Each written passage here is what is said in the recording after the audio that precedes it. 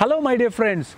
Today I wanted to share about the stations of the cross, which we usually pray during the season of Lent on Fridays, and in some places they do it on Sundays.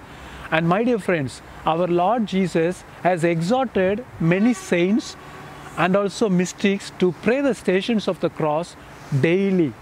And especially during the season of Lent, he asks us to pray this way of the cross, to meditate on the passion daily, and we see through Brother Stanislao, our Lord Jesus revealed 14 promises the stations of the cross has.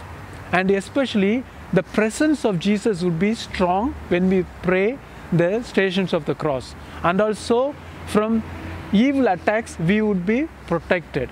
And Jesus also promised that anyone asks for any prayer through these stations of the cross would be granted. So any prayer would be also granted when we devoutly pray the stations of the cross.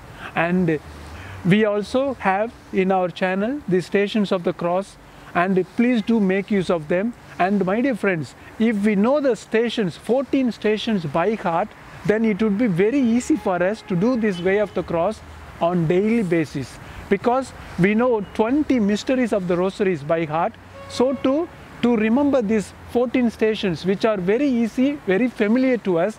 Just to make conscious effort to remember these 14 stations would be very simple way for us to cultivate as a habit to pray the stations of the cross daily as we pray the rosary.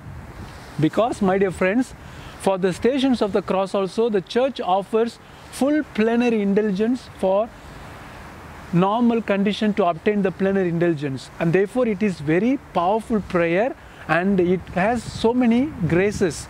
And therefore my dear friends during this season of lent we would try to pray as we normally do on fridays and on sundays if possible every day so that after the lent also we would just continue that wonderful habit my dear friends. Glory to jesus ave maria